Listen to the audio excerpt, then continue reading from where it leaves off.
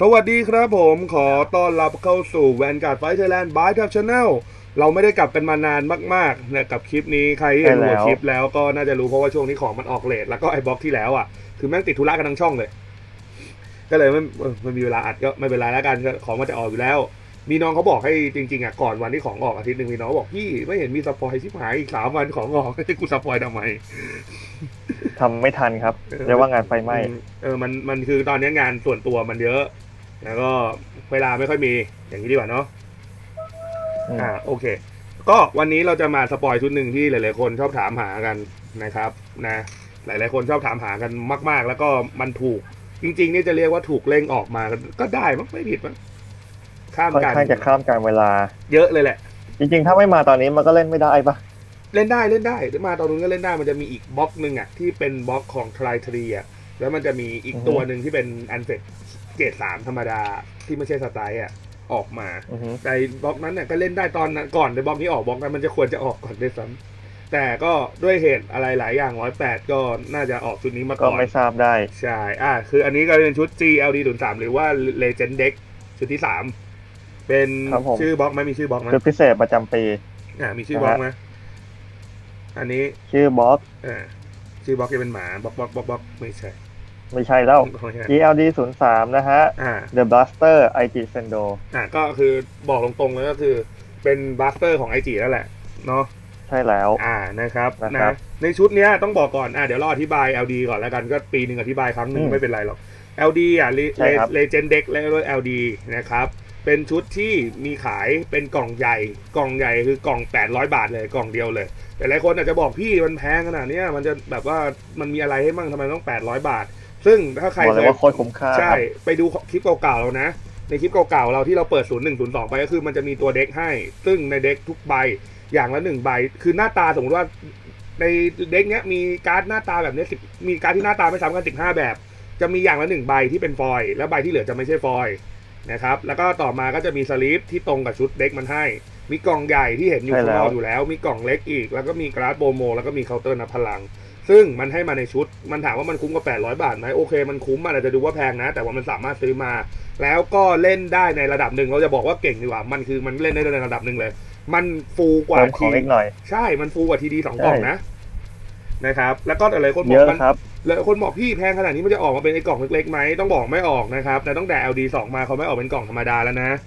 จะออกเป็ดูนเหมือนว่าตอนนั้นที่ทำชาโดมันจะของเกลื่อนตลาดนะครับใช่เขาก็เลยแล้วก็ไม่คงไม่ทำอีกแล้วแหละอ่าก็คือจะมีชุดใหญ่อย่างเดียวเซเว่นไม่ต้องหาไม่มีครับนะขายร้านครับการ์ดเท่านั้นนะครับผมนะ ก็ใครสนใจสามารถสั่งได้ที่เพจTap Shop นะครับอันนี้ผมขายของเฉยนะอะโอเค ก็คือเป็น exclusive ร้านนั่นแหละเนาะก็เหมือนชุดอืมไอ้ครับทั่วทั่วๆไปนะครับอะทีเนี้ยด้วยความที่ว่าอ่าใน LD 1กับ LD 2เนี่ย มันเป็น อ่าเขาเรียกว่ามันเป็นหลายๆคนที่เคยเปิดไปแล้วหรือว่าอะไรแล้ว มันจะเห็นแล้วแหละว่าตัวการ์ดอะมันก็คือเอาการ์ดเก่ามาเปลี่ยนเทคใช่ไหมใช่อ่าหรือว่าเปลี่ยการ์ดนหน้าเปลี่ยนตาอัปเดตนิดหน่อย ใช่หรือว่าการ์ดที่อยู่ในซีรีส์ของแต่ละตัวอย่างชุดแรกที่เป็น Shadow Paladin อย่างเงี้ยก็จะดึง Shadow ตอนภาคหนึ่งมาเปลี่ยนอาร์ตซะเยอะเลย แล้วก็ชุดที่สองครับเป็นชุดอะไรนะคาเงโ o ก็จะดึงพวกมังใช่คกรับรที่หลักๆเนี่ยมาเปลี่ยนอาร์ตเปลี่ยนเทคอะไรวางตำแหน่งใหม่ให้มันซะเยอะเลย ชุดที่สามก็ไม่ต่างกันหรอกครับ นะอืมโอเค คืออะด้วยความที่มันเป็นธีมตัวละครไงใช่มันมันเป็นชุดเนอะมันเป็นชุดเอาจะเรียกว่าชุดทีมเด็กก็ไม่ผิดนะ ใช่แต่มันก็ไม่ผิดเนาะว่าจะเป็นธีมของมันอะว่า อันเนี้ย อ่าอ่าเลนนะ อันนี้ไอจินะอ่าอะไรอย่างงี้ มันก็จะแบบเออ อันนี้ก็คือ theme deck นะครับ อะไรอย่างนี้ โดยทั่วไปก็จะอยู่ที่ประมาณนี้นะครับอะครัทีนี้เรามาดูกันดีกว่าว่าในชุดเนี้ยมีอะไรบ้าง ซึ่ง ชุดมันบอกแล้วว่า Blaster ก็จะเป็นการ support Blaster ครั้งใหญ่ของ อ่าครับ Royal ไปเลยนะครับ นะใช่แล้ว มันเริ่มกันที่อันแรกก่อนเลย อย่างที่เราเริ่มกันประจำคือ trigger trigger ในชุดนี้ให้มาไงบ้างอะแปะทิกเกอร์ในชุดนี้นะครับ ก็จะเป็นคลิสองแบบนะครับอ่าเป็นคีเอ่อฮิลหนึ่งแบบอ่าแล้วก็เรลหนึ่งแบบเป็นรีพินมานะครับ ก็จะเป็นมาเกาก็ตัวที่มีนั่นเทเอคงก็คืออ่าเอามันถ้ามันอยู่ในช่องบรรยากาศเป็นแอคทีฟถ้าแวนการ์ดเราเป็นแคร์รอยอนพารินเอามันเข้าโซเลือก อ่ารอยอนพารินหนึ่งใบบวกสามยูนิพัตนหนึ่งใบอ่านะครับนะแค่นั้นเอง ก็คือทุกอันจะอ่าเป็นอาร์ตใหม่หมดแม้แต่ฮิวก็รู้สึกว่าไอตัวอีกอีกอีกดาซิลไออีดาซิลอาร์ตใหม่เหมือนกันเอออาร์ตใหม่เหมือนกัน แล้วก็แต่ว่าไอหรู้มาสึกจะคนละชื่อด้วยมั้งถ้าจำไม่ผิด ใช่ไอพิงฟอร์เกาเนี่ยไอหมาชมพูอะเขาเรียกว่าหมาชมพูเนี่ย มันไม่ใช่ตัวอืมที่มีเทคนะ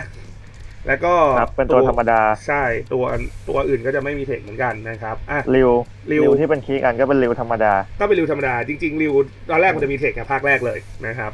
อือฮึอะโอเค ต่อมาเรามาดูที่ตัวเริ่มกันหน่อยว่าตัวเริ่มในชุดนี้ให้อะไรมาบ้างครับจะเป็นบูสกัดบัคเกลนะฮะ เป็นบัคเกลร่างใหม่ครับ ไอตัวบัคเก่าตัวเก่าด้านนึงก็คือตัวที่เละเละและเรียกเพื่อนที่โดนโดนห้ามใส่เป็นตัวเริ่มใช่ไหม ใช่แล้วอ่านั่นแหละนะครับ ตัวนี้มีเทคสองอันครับ อันแรกเป็นออโต้เป็นโฟลันเนอร์นะอันนี่คงไม่ต้องบอกอะไรมากครับอันที่สองเป็นแอคทีฟในช่องเรียกการ์ดเจนเบรกหนึ่งครับผม แล้วก็อ่าเคาน์เตอร์บาร์หนึ่ง Counter Blast หนึ่งนำมันครัเข้าบสู่โซเสิร์ชการ์ดหนึ่งใบที่ติดชื่อว่าอันเป็ดหรือหรือบบลัลัสสเตเตออร์ร์ในชื่อนะครับอาแสดงและแสดงให้ฝั่งตรงข้ามดูและนำขึ้นมือจากนั้นสับเด็กแค่นั้นเองเนาะก็ครับถือว่าเป็นการซับทั้งอันเฟสแล้วก็เป็นการซับบัสเตอร์ไปในตัวด้วยนะอืมโอเค ต่อมา มาดูอันที่เกรดหนึ่งเลยดีกว่านะครับครับเกรผดมหนึ่งใบแรกของเรามาเขาให้ PG มาเลยว่ะนะครับกับใช่แล้วก็จะเป็น Blinker of Divine Grace นะฮะเอโปนาครับเอโปนาของเก่าเป็นชีกิคอลนะครับได้เด็กขี่ด้วงนั่นแหละนะครับ ตัวนี้อ่าฮะมี text เป็น sentinel ครับ แล้วมี text หนึ่งเป็น auto นะครับผมทิ้งการ์ดบนมือก็คือเอามาป้องกัน ตัวนี้จะสามารถป้องกันได้แต่ vanguard เท่านั้นนะครับ และถ้าครับมีตัวมันเองอยู่ใน drop zone ะครับหงาย dam หนึ่งคือเขาให้ PG อืม PGG หงาย dam มานั่นเองอะนั่นแหละนะครับ ใช่ นะโคตรดีครับ ไอชุดหนึ่งกับชุดสองอะมันให้ PG ทิ้งมือ คืออมมึงให้มาชุดทำไมนี้จริงๆไงาย dam เออไอไอชุดหนึ่งกูพอเข้าใจเว้ย PG มันติดวิทย์มันเอาไปเล่นกับเด็กวิทย์แล้วมันเก่ง ชุดสองอะอืมไม่มีประโยชน์ ไม่ไงคือแบบว่าเขาจะเห็นฟีดแบ็กไงว่าเฮ้ยคนอยากได้ PG ไงแดมมากกว่าอะไรอย่งแต่งี้ว่าถ้าเป็นของอันนี้เป็นเกร็ดความรู้นะ เป็นเกร็ดความรู้ ถ้าเป็นของญี่ปุ่น ตอนครับที่มันถึงไอชุดนี้ออกพอดีอะมันไม่ได้ใช้อืม PG นี้แล้ว มันไปใช้ PG กันหนึ่ง โอ้โหเอ้ยแต่โอเค อะสำหรับคนที่ไม่มี PG หงายแดมอะซื้อไปไปเล่นกับอันใหม่ก็ใส่แทนได้ไง ใช่ไหมอืมเออก็ดึงไปเลย แล้วก็เออเอาอันนั้นมาใส่อันนี้แทนแล้วสรุปอันนั้นก็ PG หงายแดมเหมือนกันมึงจะดึงมาทำไม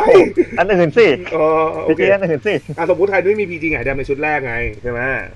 อ่าฮะนะใช่โอแล้วเค อะตัวต่อมาครับผม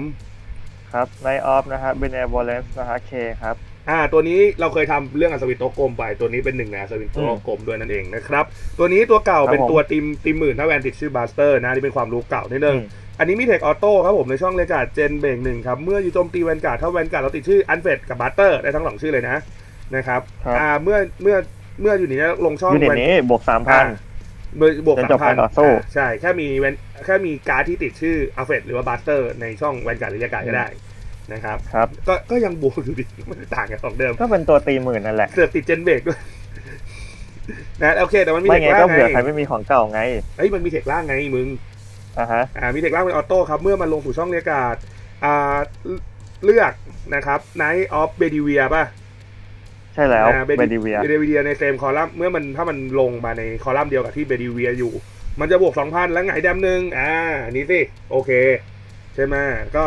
ตัวเคลกับเบดิเวียมันจะเล่นคู่กันเบดิเวียก็คือตัวตี12ตัวเก่านั่นแหละนะครับแต่ว่าตัวเนี้ยจะฟิกนะ ใช้กับตัวเก่าไม่ได้นะ ตัวนี้มันจะฟิกว่าเป็นอะไรนะ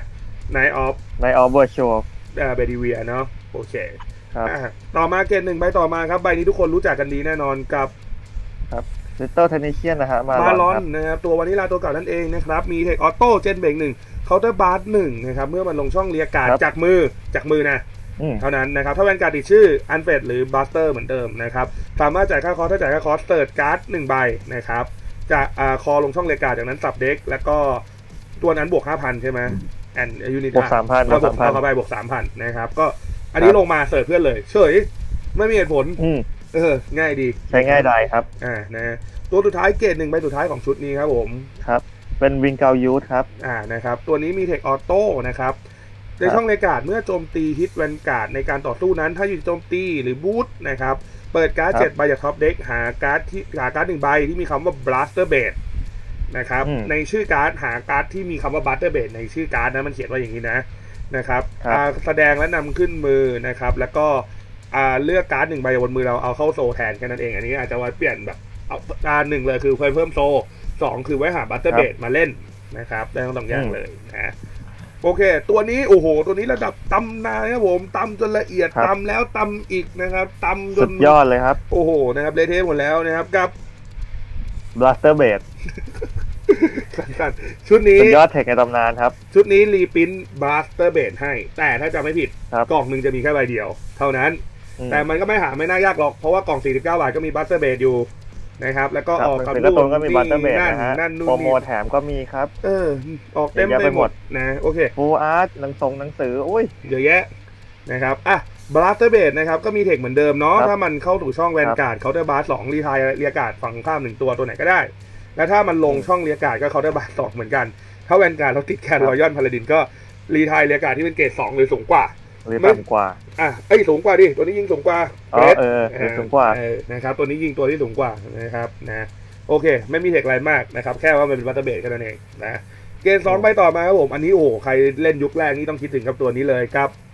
ครับ Knight of Silence ฮะกาลากาลาติน มันไปแข่งมาตอนไหนว่ามันเป็นแชมป์เหมือนความเงียบเนี่ย อืมทำไมอาจจะหมายถึงเป็นแบบว่า เป็นยศถาบรรดาศักดิ์ของนักรบก็ได้โอ้เรียกว่าเป็นแชมเปี้ยนอะไรอย่างนี้โอ้ได้รับการยกย่องนึกว่ามันไปแข่งมาตอนไหนว่านั่งเงียบกันมันนั่งคุยกับทานเซรุด้วยไงคิดหายปิดตาด้วยสิ เออนะมีเทคครับผมเอ่อคอนติเนียในเกมช่องการเดียนนะครับ เจนเบงหครับนึ่ผงมนะครับยูนิตนี้ชิวบวกห้าพันการ์ดมาชิวหมื่นนะครับนะอินเตอร์เซปไปก็หมื่นยอดแล้วไปเลยเออนะครับมีเทคหนึ่งเป็นอาคอนติเนียในช่องบรรยากาศเรียกการก็อ่าได้นะครับ เมื่อถ้า มีการถ้าที่ติดชื่อบัตเตอร์นะครับถ้าไม่ถ้าไม่มีถ้าไม่มียูนิตการ์ดที่ติดชื่อบัสเตอร์ ในแวนหรือในเรียก็ตามนะครับยูนิตนี้ลบสองพันก็คือมันมีอืมเทคเซฟได้นั่นแหละ แต่ว่ามันมีเทคเอาไปช่วยชิลนั่นแหละ แต่ว่าด้วยความที่เป็นตัวมันว่าต้องเล่นกับบลาสเตอร์อย่างเดียวไงว่ามันไม่มีปุ๊บมันก็ลดมาลดพลังมาเหลือลดพลังมาเหลือแปดพันก็อืมครับโอ้กูเกาหัวเลยใช่ไหมดีหรือไม่ดี เอามายืน Van แล้วชิปหายหมดยืนแปดพัน rear ไม่มีบลาสเตอร์ คือกูเอาจริงๆยอมรับเลย ยอมรับยอมรับตรงนี้เลยนะกูเป็นคนหนึ่งที่อือฮึกูชอบกาลาทินนะเว้ย กูเห็นกาลาทินแล้วแม่งเท่ ตอนแรกที่แบบว่าอ่าฮะ first impression ในการดูการ์ตูนน่ะในแก๊งการ์ตูนเอ้ยในการ์ตูนครับ แล้วแบบเฮ้ยการ์ตูนตัวนี้แม่งเท่ว่ะแม่งปิดตาแล้วแม่งฟัน พอมันเล่นจริงๆปุ๊บมึงไม่มีเทค ไม่มีเทคไม่ว่า มึงออกตัวใหม่มา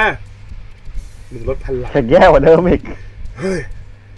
คือกูขอชิวห้าพันก็ได้ ถ้าจะเจนเบรกหนึ่งกูมาเสร็จต้นเกมก็ได้นะโอ้นะโอเค เกมสองไปต่อมาแล้วกันเบดีเวียแล้วอะครับผม ชื่อครับในออฟเวอร์คิวนะฮะเบทีเวียครับ มีเด็กออโต้ครับในช่องรายการเจนเบรกหนึ่งนะจ๊ะ เมื่อครับผมอยู่นี้โจมตีแวนการ์ดถ้าแวนเมื่อมือโจมตี ถ้าแวนการ์ดเราติดชื่อว่าอันเฟดหรือบัสเตอร์ นะครับ ในช่องแวนหรือช่องเรียก็ได้ บวกสามพันนะครับ จนจบการต่อสู้ ก็กลายเป็นตีหมื่นสองใช่ แล้วก็มีเทคออโต้ครับผม เมื่อเข้าสู่ช่องครับเรียการ์ดนะครับ ถ้า อ่าเลือกเลือกตัวตัวเครอะไม่ไม่ใช่เครเป็นนะเลือกไอ้เครไอ้เกรดหนึ่งอะ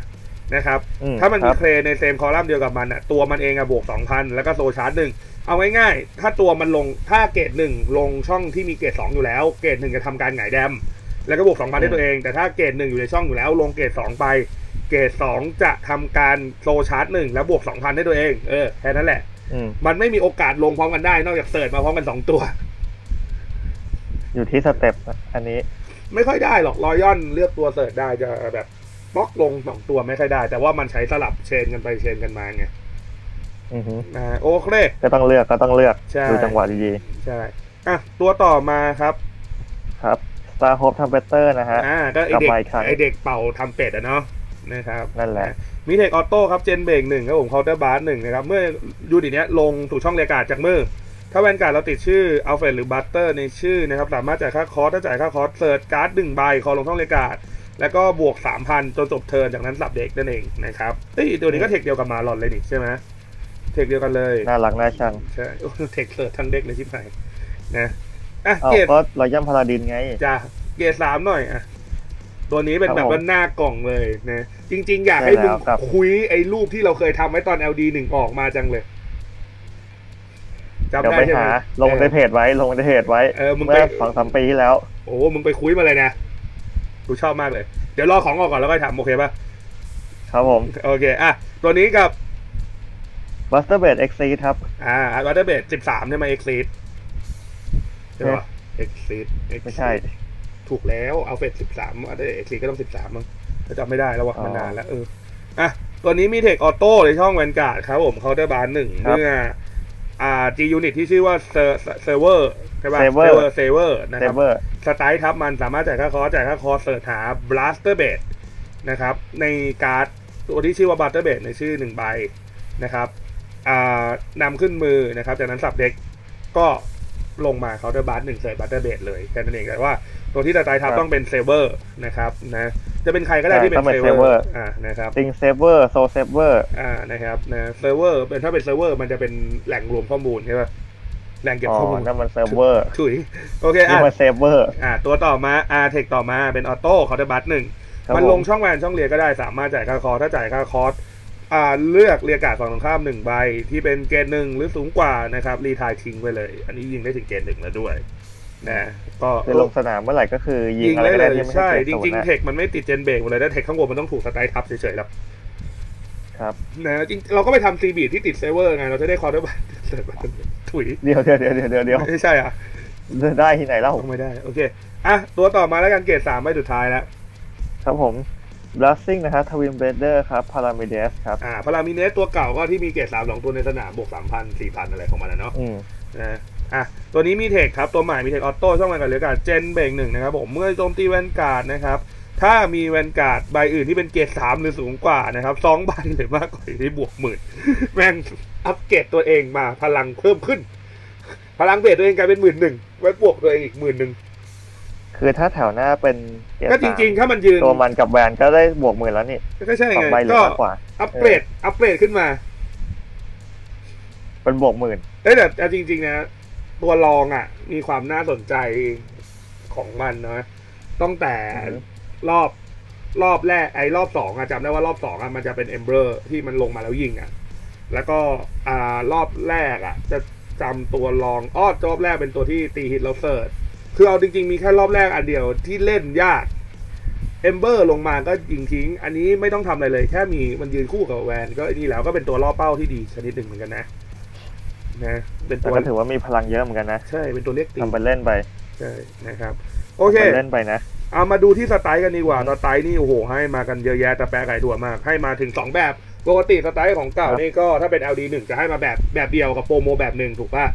แล้วก็เพไม่ราะมีตอนจีนั้นยักางรเป็น G8 อยู่อ่าไม่มีจีการดไม่มีอะไร อันอ่าพอชุดที่2ก็จะให้เป็นนูเวล4แล้วก็จะเป็นเอมังกรส้มๆอะไอมันชื่ออะไรวะจำไม่ได้ละอ่าตัวตัวนั้นน่ะให้มาอีกสองก็แล้วก็อือฮึ DN ไอ้ D8 สองก็เป็นแปดแต่นั้นตอนนั้นมันจะขึ้น G16 อยู่แล้ว และทีเนี้ยชุดเนี้ยจำไม่ได้ว่าอะไรให้มาอย่างกี่ใบ แต่รู้แม่งให้มาเยอะมาก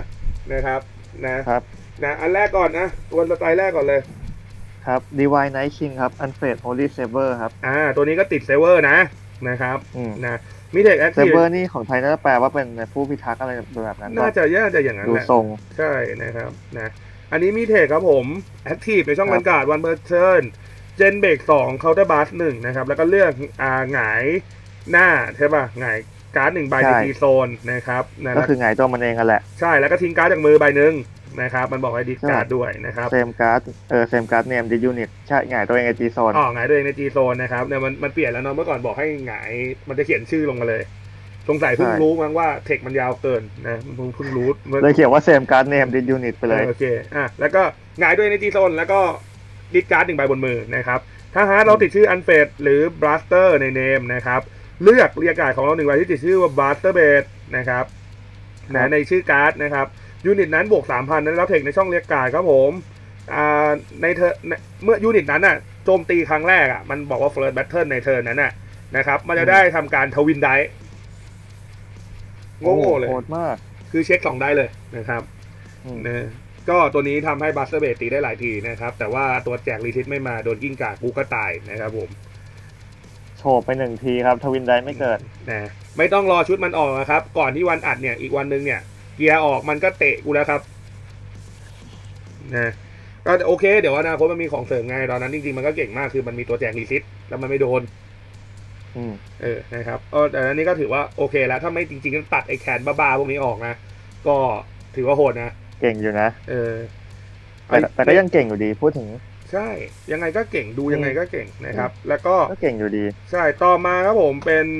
G guard มี G guard ให้ด้วย แสดงว่าน่าจะอืมให้สไตล์มาโดยเฉลี่ยประมาณที่สิบใบนั่นเองนะครับนะครับนะอะถ้าใจดีจะใส่เต็มแบ็คอย่างละสี่แบบ ใช่นะครับนะครับโอเคอะอันนี้อะมาดูจีการ์กันดีกว่าเนาะใช่มีชื่อก่อนชื่อก่อน ครับเกรสแฟตนะฮะอะอินโซ อินเหมือนจะเป็นอินโซเดอีว่าโซอีโซที่มันเปลี่ยมันนอ่านมาว่าอ่านว่าอีโซอีโซแหละเออนะอ๋อมีเทคออโต้เคาน์เตอร์บาร์หนึ่งนะครับ เมื่อเข้าสู่ช่องครับการเดียนถ้าแวนการ์ดติดชื่ออันเฟดหรือบัสเตอร์นะครับ ในชื่อการนะครับ คิวจะบวก5,000แค่นั้นเลยง่าย ๆ เลย ก็เป็นการ์ด20,000จบแค่นั้นนะครับ ใช้ง่ายใช้ง่าย ใช่ อะใบสุดท้ายของสไตล์ที่มันให้มานะครับ ครับผม ก็จะเป็น Holy Dragon ครับอ่าเอ่อมาเรีย Soul Saver มาริอาโซเซเวอร์นะครับ ตัวนี้ก็ติดเซเวอเลือดร์เลือดเอ่อว่าอะไรมิเลียดมีมาไมเลียดมาเรียดเออช่างมันเถอะเอาเป็นว่ารู้เป็นโซเซฟแล้วกันอะนะโอเคมีเทคออโต้ครับผม ในช่องแวนการ์ดโซบาสามนะครับเมื่อยูนิตโจมตีแวนการ์ดถ้าฮาร์ดติดชื่ออันเฟดหรือบัตเตอร์นะครับเหมือนเดิมอืมสามารถจ่ายค่าคอร์สถ้าจ่ายค่าคอร์สอ่าเลือกเรียกการ์ดของเรา5ใบนะครับ ทั้ง5ใบอะ5,000บวก5,000จนจบเทิร์นนั่นเอง ก็ถือว่านี่ใช้มันเทคง่ายโซเซเวอร์เก่าชัด แต่ว่าโทนเลเวอร์มันบวก3ใบไงๆอืมนะแล้วก็จริง ๆ อะ น่าถ้าจำไม่ผิดมันจะโปรโมที่ให้มาในชุดนี้จะเป็นโซเซเวอร์ตัวสไตล์อีกตัวหนึ่งที่เขาจะบัสหนึ่งไงตัวเองที่เป็นสไตล์แรกได้แล้วบวกเคียร์น่าจะให้มาอ่าฮะคู่หนึ่งนะนะอันนี้ก็ถือว่าหมดแล้วสำหรับชุดมันเนาะเอาเป็นไงบ้างอะแปะแล้วถามความรู้สึกอะแปะถามกูคนเล่นกูก็เฉยๆเพราะว่ารู้อยู่แล้วมันจะออกอะไร เพราะไม่ค่อยได้เล่นแคนพวกนี้อยู่แล้วนี่ถ้าถามคนเล่นใหม่เหรออืมคนเล่นใหม่อะน่าซื้อนะ ก็คือถ้าสำหรับคนที่เริ่มต้นได้รอยย่อนอะ อยากเล่นรอยย่อนดูดีน่ะอยากเล่นรอยย่อนแบบพี่จีการขายไม่ได้เลยพี่แล้วสไตล์ผมหาไอ้นู่นไม่ได้นี่ไม่ได้ผมหาอันไม่ยากเลยอย่างนี้เล่นบัตเตอร์ก็ได้งั้นนะเพราะว่ามันให้ของมาค่อนข้างครบนะเอาจริงๆ ก็อาจจะไปเปลี่ยนอะแดปอ่าบางคนแบบมีอันใหม่อยู่แล้ว อาจจะไปอะแดปรวมกับอันใหม่บางคนมีนู่นอยู่แล้ว อาจจะไปใส่รวมกับไอ้นู่น บางคนมีนี่อยู่แล้ว อาจจะไปใส่รวมกันอะไรอย่างเงี้ย ซึ่งมันก็โอเค มันก็ใส่ได้นะครับ นะ อันนี้แล้วแต่ความชอบของแต่ละบุคคลไปเลย ซึ่งเดี๋ยวมันก็มาแหละนะ จะบอกว่า อ่า แต่อ่าเขาเรียกแต่ว่าอะไรส่วนนะ ตัวมันก็เหมือนไฟบังคับว่าต้องซื้ออยู่แล้วป่ะ ถ้าเล่น เดี๋ยวมันก็ถ้ามีอยาก ของออกมาถ้าอยากเล่น Blaster นะวงเล็บถ้าอยากเล่นอือฮึ Blaster นะก็เดี๋ยวคงจะเป็นต้องซื้ออะ อืม นะ มันก็คงจะเป็นจะต้องซื้อแหละนะครับ นะ ก็ใครที่เคยใครที่เคยแบบ ซื้ออยู่แล้วหรืออยากเล่น Blaster อยู่แล้วแล้วแบบเนี่ยผมไม่รู้จะเล่น Blaster ยังไงโอ้โหผมหายากมากเลย ก็เป็นชุดหนึ่งที่น่าเก็บแล้วกัน ถ้าถามว่าจะเก็บอะไรไว้บ้างดีพี่จะมีหมาตัวหนึ่งที่เล่นกับ Blaster Blade ไว้หงแดมนั่นแหละที่แวนติด Blaster เพราะตอนนี้แวนติด Blaster เยอะขึ้นแล้วแล้วก็หมาชี้หมาชมพูนะครับ แล้วก็อาจจะไปใช้ริวเกรดสองที่เล่นในชุดจริงๆพวกสามใบนั้นออกมาชุดเดียวกันหมดเลย แล้วก็อาจจะหา Wingal Brave พื่อให้เล่นเกมได้เร็วขึ้น มันมันติด Blaster หลายตัวเงี้ย มันสามารถ search Blaster ขึ้นมือได้เลยในช่วงต้นเกมก็ได้นะครับนะสำหรับคนที่อยากเล่นนะครับ โอเค ก็ถือว่าประมาณนี้แล้วกันสำหรับคลิปนี้เนาะนะครับนะเอ่อนี้ก็ไม่มีอะไรครับแล้วผมเดี๋ยวก็คงเจอกันอีกทีก็ถ้าเป็นคลิปสปอยประมาณนี้ก็จะเดือนหน้าเลย ก็รอบหน้า น่าจะเป็นชุด BT ถึงเก้า นะครับนะใช่แล้วเดี๋ยวกับเราอะไรนะก็ Lu BT ถึ Art งเก้าเดี๋ยวแต่ว่ายังไม่เห็นทีดีเลย เดี๋ยวเราค่อยว่ากันอีกทีแล้วกันให้มันถึงก่อนอืมนะครับผมนะโอเค ประมาณนี้ครับผมสำหรับวันนี้นะครับขอบคุณมากแล้วกันที่จริงๆมันคลิปมันไม่ได้ยาวหรอกมันเราพูดให้มันเข้าใจได้ง่ายเฉยๆแล้วก็บวกเชิงวิเคราะห์เข้าไปด้วยแค่นั้นเองนะครับเพราะว่าการดมันน้อย นะถ้าอันไหนการดเร็วๆเราพูดรัวๆเหมือนกันนะครับขอบคุณมากแล้วกันที่ติดตามและชอบกดไลค์ตามกด subscribe อย่าลืมกดกระดิ่งเพื่อไม่พลาดคลิปใหม่ของเราทุกคลิปที่เราจะมา on air ให้ดูกันนะครับผมนะและอย่างเช่นเคยครับผมนะสุดท้ายนี้ขอบคุณร้านซีแจมไม่กับพาซาชั้น 5 ผู้หนุนเพจเราช่องเราช่วงของแวนการ์ดอย่างเป็นทางการ และใครสนใจสั่งซื้อสินค้านะครับผมนะ จริง ๆ เราก็เปิด pre แล้วแหละนะครับไอชุด LD3 เนี่ย สามารถอืมมาซื้อได้นะครับนะยังไงก็นี้ไปแล้ว เจอกันใหม่ในคลิปหน้าต่างๆพวกเราครับผม สวัสดีครับ